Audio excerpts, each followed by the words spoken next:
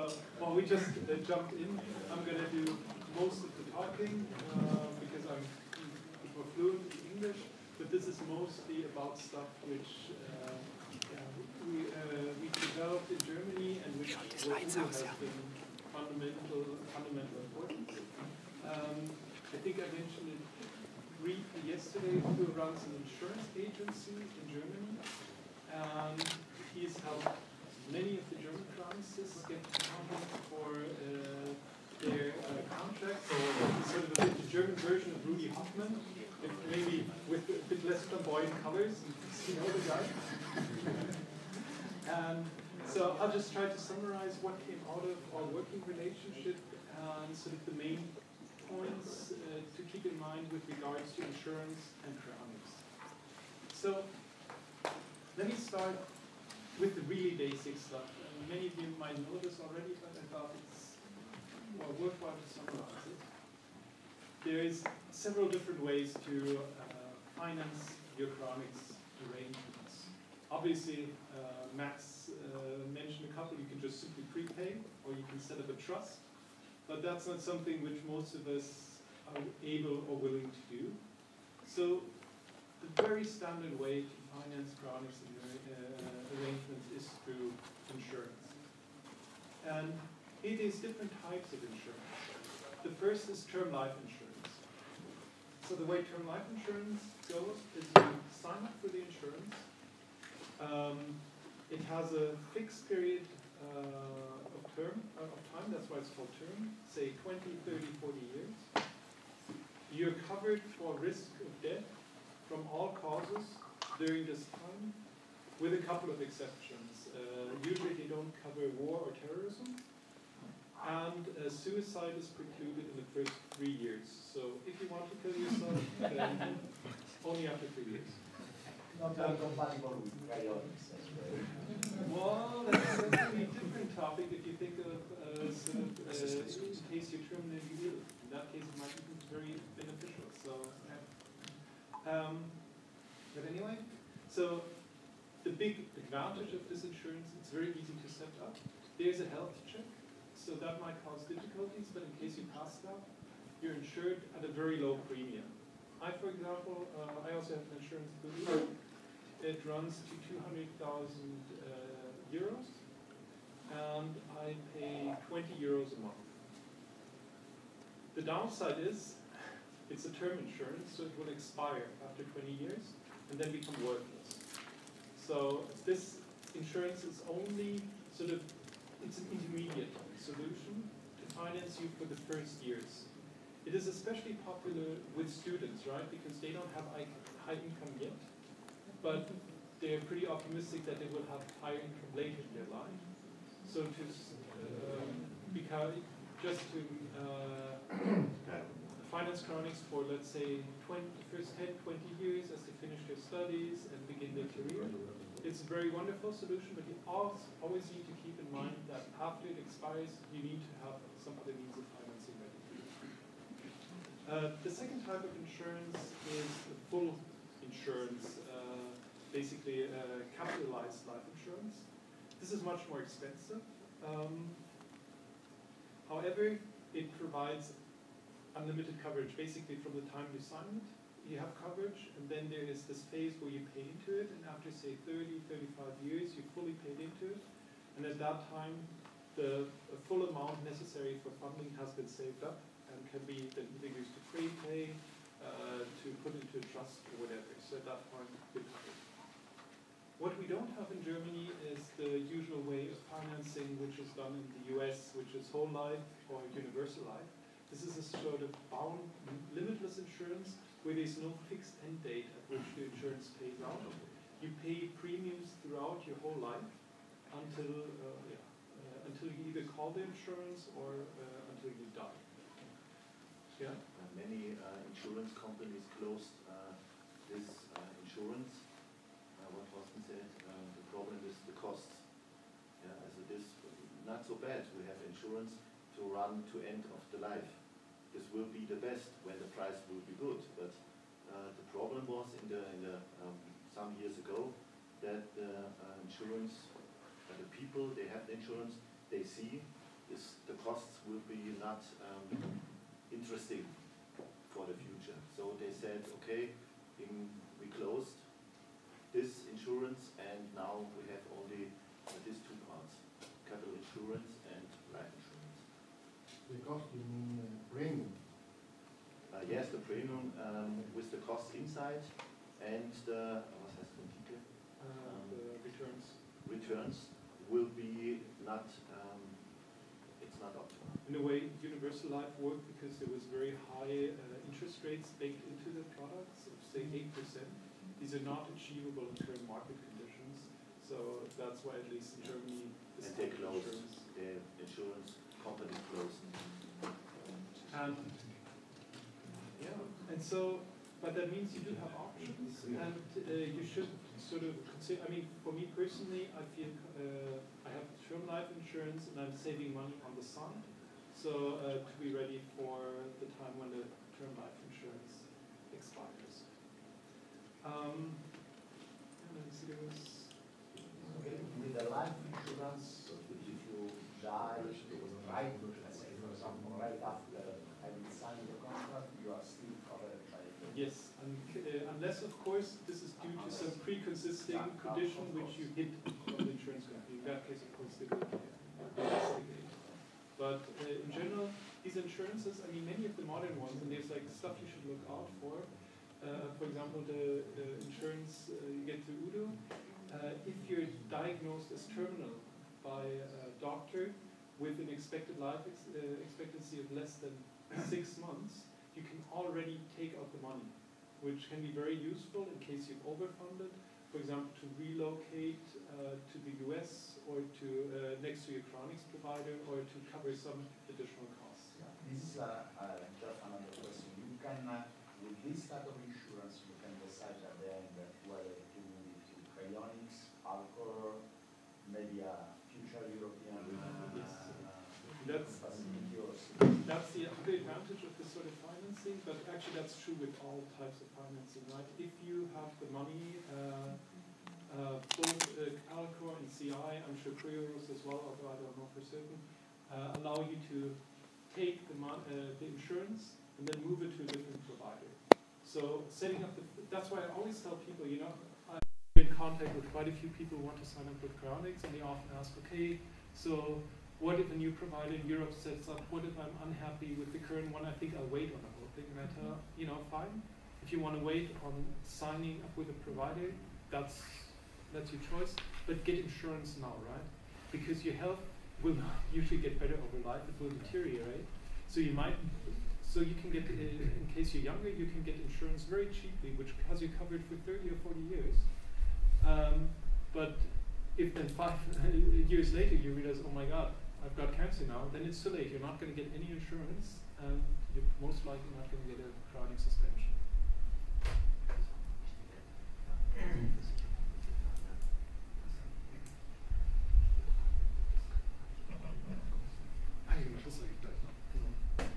Um, so there's a couple of things to uh, keep in mind. Uh, one thing which I want to mention first is it's always good to have like one local insurance agent in the country who uh, knows cryonics and who's favorable towards it. Rudy Hoffman in the US is an obvious example. We have Chris Morgan in the UK or Udo for Germany.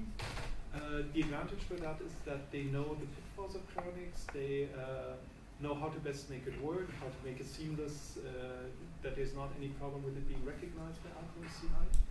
And there may be an additional advantage. Uh, I mean, this is up to the person, but uh, Udo, for example, very graciously volunteered to uh, donate the proceeds uh, from the insurance uh, to Cryonics in Germany. So that in a way, it's they're not run for profit, right? But everybody who signs up to his insurance company, what he gets as commission, he donates uh, to German Cryonics. So in that way, everybody profits. Another important thing uh, to keep in mind is that the insurance really works. And this is also a good example for having somebody local who knows the market. Um, one thing which is important is that the insurance is transferred to the provider in such a way that it's protected from next of kin. Uh, because as we've seen in Ted Williams' case and in many other cases, uh, it's a large sum of money, and people, when they, well, people tend to be greedy, right? So the spouse might say, okay, why am I being left with so little?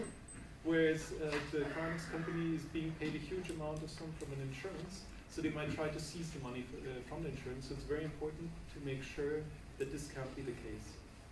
There's other considerations to keep in mind, especially around taxes and inheritance law. Uh, so, for example, Udo uh, clarified with the insurance company that no taxes need, needs to be paid on the insurance amount, which is of course very important because if you set up an insurance over, let's say, uh, 100,000 euros for Alcor Europe preservation, and then it gets paid out, and only 60,000 is left after taxes, it wouldn't be sufficient. And so Udo was able to clarify through the insurance company that because the money is being used for services rendered, and these services have been uh, yeah, uh, requested before the time of death, that uh, no, uh, no sort of uh, taxation or inheritance tax gets charged on the insurance. Um, and this again is an advantage of having like a single point of contact because Udo sort of says, you know, I bring you all these promises, and so the insurance company says, okay, that's really cool. This guy's bringing uh, a new, innovative, and maybe growing field of business to us, so they're more likely uh, to expand research. And I actually saw some of the letters. They even had like their internal back office, uh, the um, the specific departments look at that and give us good advice for, uh, usable for cryonics. So, what the advice we can give from our experience in Germany is find somebody in your country who knows about insurance, who can sell you insurance, and uh, who is willing to clarify the legal aspects and um, to work together with the cryonics uh, provider. This helps uh, make the process much better for uh, the cryonicists who are signing up because they know they, there will be no problem with the recognition of the insurance. And we can say that we set this up like two years back. It's been a real success story.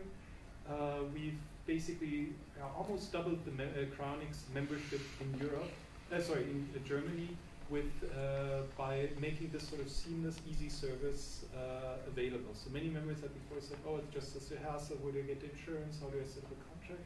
We said, "We'll help you with it. We'll make sure you get the right finance. We'll make sure to help you with the, um, with all the paperwork."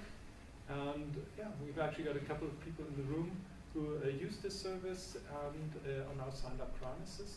So yeah, that's it from my side. Thanks how, how many members do you have right now in Germany? Uh, so altogether there's, uh, I think, around 25 to 30 people which are signed up. Um, around 10 with Alcor, the rest with CI and around uh, a bit above 10 came uh, through this insurance package. Which we set up. Um, can um, someone from the, from Spain get insurance through you, or is it really better to have someone in Spain? And in that case, do you have a contact in Madrid that could help us? Um, the situation is, is better. You check the situation in, in Spain, then the, uh, the law, the law is different.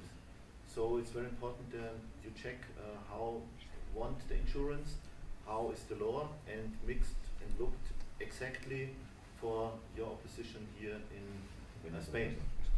So it's better um, you check the situation in Spain. We actually have a couple yeah, of requests we, internationally. We are thinking about them, uh, but it's better for you. You make this situation in your country. For example, for, yeah. for Udo's insurance, you need residence in Germany. And I remember uh, I was also in contact with Chris Morgan from the UK insurance, and he looked into getting some sort of international portable solution. He said, you know, this is the EU, like it used to be. No, anymore. in, this, in this case, no. And uh, it should be easy to transfer, but it turned out that insurance regulation is like so local. So I think every country probably needs to have their own person. And you said uh, you need um, um, to be living in uh, Germany for that um, insurance. You need to have a postal address where mail can go. Okay. And, and what if, if, if you um, move to Switzerland, for example? I think in that case, uh, yeah, in that case, the insurance company would uh, sort of honor its pre-standing uh, agreement. I, I, I don't, uh, Udo, do you know? Uh, if, like, let's say if I were to move to a different country, uh, would uh, would I still be able to maintain my insurance? Achso, sorry. Wenn, weil ich brauche eine deutsche Postanschrift, wenn ich jetzt in ein anderes Land ziehe. Macht das die Ja, deutsche, Probleme? ähm, eine deutsche Anschrift und deutsches Programm. Okay. So German bank account, which I think he would keep, and yeah, it's, uh, he says German address as well. So I think I'd probably take that of uh, my parents and my brothers. And the, the bank account is the more important one. So, uh, okay, let's take it one by one. yeah, so life insurance itself is a kind of a hack to pay for chronic, so I'm wondering how you could hack that setup. Uh, so for instance, if you're saying you need a postal address in Germany, what, what prevents me of just getting a mailing box at one of the post offices just across the border? Yeah. I mean, I think there's lots. Uh, I mean, you can be creative about this, and I think you can make it work. However, it's also often good because this regulation is like so much tied to individual countries. Um, let me give you an example. Rudy Hoff offers to give uh, insurance to anybody in the world. They just need to come to the US, do like the blood tests and uh, health checks. Um, I had, I didn't do that because I said, okay, you know, I'm not, I won't be living there at least for the foreseeable future. So, what if laws change? What if uh, there's some sort of um, yeah, uh, legal Trump. dispute? but if something happens? Then I won't be there. It'll be hard to claim my interest, right? So it's always easier when you're within the country uh, where you're set up. That being said, if there's like a small country and it's just a few people, it might be worthwhile to look into getting cross-border insurance. Entscheidend ist auch, äh, dass man die Verhandlungen, der, der dann die Versicherung abschließt, dass der dann im Grunde auch die Verhandlungen mit dem Unternehmen so führt, dass das Geld wirklich sicher bleibt, dass es für Alkohol oder für CI einfach nicht zugänglich, äh, für, für Externe nicht zugänglich wird. Also für Familienangehörige und solche Themen. Exactly, Buddha points out it's also, you know, very important to make sure that this, uh, the insurance is really safe for the Cryonics provider, that nobody else can access it. And that sort of thing is always easier to control if you've got somebody like, you know, within the local uh, jurisdiction. You must clear this before, not after, after we have the problems. So, uh, David, I think I saw you. Yeah, I was, I was just going to add uh, that I've asked Chris Morgan this question, and for the UK at least, uh, you can leave after you take out your insurance policy, and it will remain valid. But I think the key thing is you do have to be resident at the time rather than just on a holiday. And you probably do need to maintain a UK bank account. Well, I mean, I wouldn't like to take the risk of sort of just going somewhere for a day and then they don't pay out because they, they realise you Oh, weren't no, no, I mean, certainly like holidays, uh, it's just like if you permanently move your place of residence. if you were resident, yeah, exactly. If you were resident at the time you took out the policy and then you leave later, that's okay. Okay, great. In the UK, anyway. Yeah. Um, so I think Nicola and then Ashwin. Um, how easy or difficult is it uh, to change the beneficiary of the insurance policy? Uh, I don't know yet. We haven't done it yet. Basically, Alcor and uh, CI give you a document, a sort of buyback agreement, that they pledge if you dissolve your contact, they will absolve you from uh, having the insurance uh, transferred to them. So we would need to get that document from them, then show that to the insurance company. So the insurance company says, okay, this is with the uh, Alcor agrees to this or CI, and then uh, move the insurance to another company. So I think it's not going to be ridiculously difficult, but we don't have any practice. People don't tend to change cryonics providers unless there's like very uh, important reason. Policy. Uh, how does that work with the uh, the German policies? Like, is there a distinction between owner and beneficiary? And can you also make the insurance, the Cryonics organization, the owner of it? Yes, um, so I think both things work. With my original insurance company, I just made Alcor the irrevocable beneficiary, Mhm. and Alcor accepted that. There was a bit of to and fro, but we got it through because the insurance company wasn't willing to transfer ownership. Right. I think uh, Udo with uh, the VKB insurance, uh, wir machen Abtretung, ne? Yeah. Yeah, so there the ownership is actually transferred. The insurance company actually prefers that. There was something around tax reasons which made it uh, even easier for them to transfer ownership instead of making irrevocable. Right, because I know like one reason why Alcor prefers that is that Yeah, they yeah. get the correspondence involving the insurance, and if there's like an issue, They- they then, will be then notified, knows about it That would be- when you're when you're funding. I funding. remember and that, stuff, yeah. When I did the first, with the first insurance with the irrevocable change of beneficiary, I also have to have them uh, sort of sign that they would uh, send all correspondence to Alcor as well, which didn't fit well with the internal processes, so that's Yeah, what yeah. took so long. Okay. Regarding to the marketing, uh, how do you sell the, the product, the, the insurance uh, product? Uh, you sell directly from the Cryonics Germany, and you offer the, the insurance policy, or you offer the insurance policy first and then you will talk about the client service? Okay. regarding to the marketing, uh, how do you sell the, the product, the, the insurance uh, product? Uh, you sell directly from the Cryonics Germany, and you offer the, the insurance policy, or you offer the insurance policy first and then you talk about the client service? Congress then makes a couple of proposals on uh, what would be the uh, prices for these different, uh, uh, yeah, different offers. Okay, one more. Yes. Are you aware of any catastrophic stories where someone had uh, the right amount of life insurance in place, but for some administrative unforeseen reason, uh, it was not paid up and the suspension was not I think I just saw Max enter, and uh, Ben is as well, so I think that's, uh, maybe we can address the question to them. Max, uh, have there been any cases? sorry, to put you on the spot. Have there been any cases where the insurance, where there was like an insurance setup, but then the patient uh, deanimated and the insurance didn't pay out?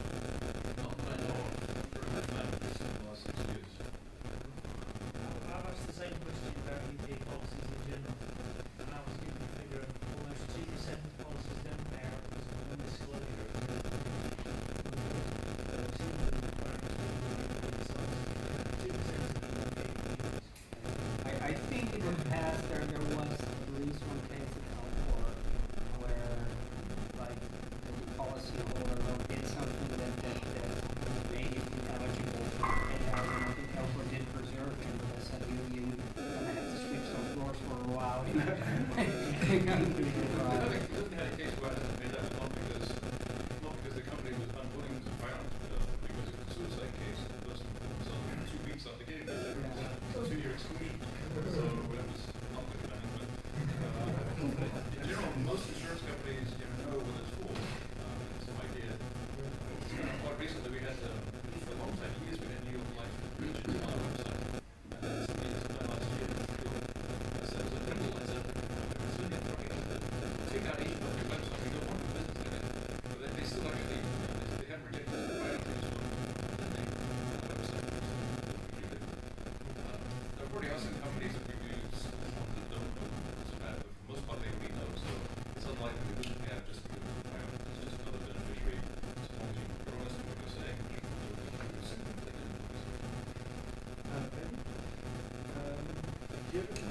Any, were there any cases of promises you you had to have where the insurance company didn't pay out?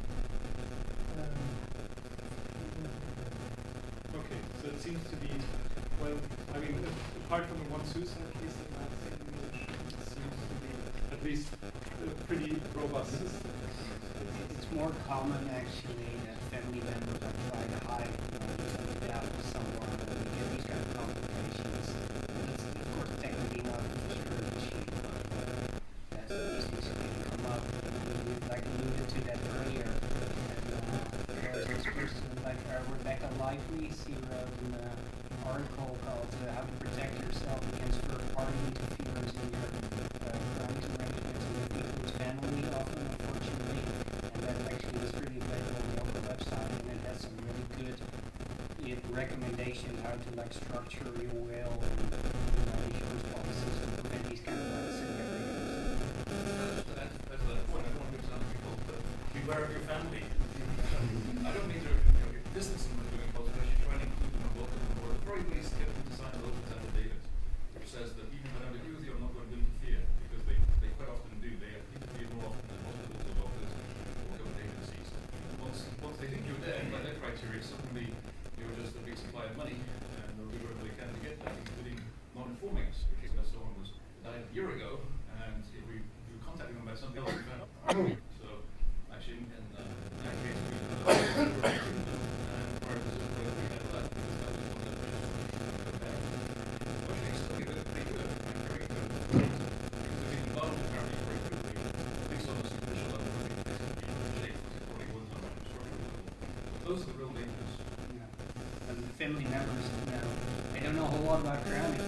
realize if you hide it from like Alcor or CI, then there's a much bigger chance that like the insurance market will go to them.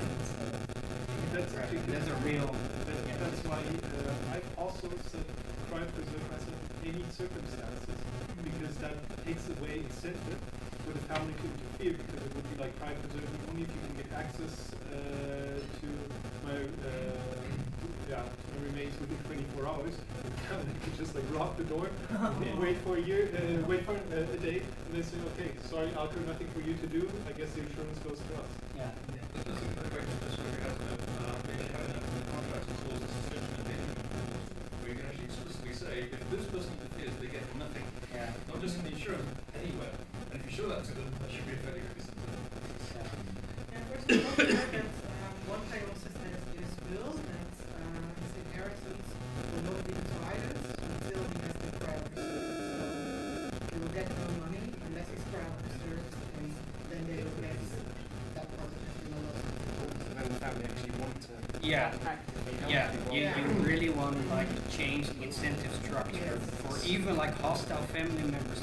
still going to do it because then I get at Because I least want some of the money. money. Yeah. The motivation is the same, but the outcome is different. Um, I was just going to add uh, that I don't know about Alcor, but with CI anyway, you can specify who gets the money if, for whatever reason, your cryopreservation doesn't go ahead for some reason. And they recommend not having the money go back to your family members because then they've got an incentive to, to stop it going out. So maybe donate charity or have it go to the cryonics provider or anyone but the family. Could even say that um, unless you're uh, brought over the facility and preserved, no one else gets any money. And if, even if you don't get preserved, then CI or Alcor gets all of the money. So then the only way they get their money, their money is if they make sure your body makes it over Good. Thanks you again, uh, Torsten and Udo, for stepping in.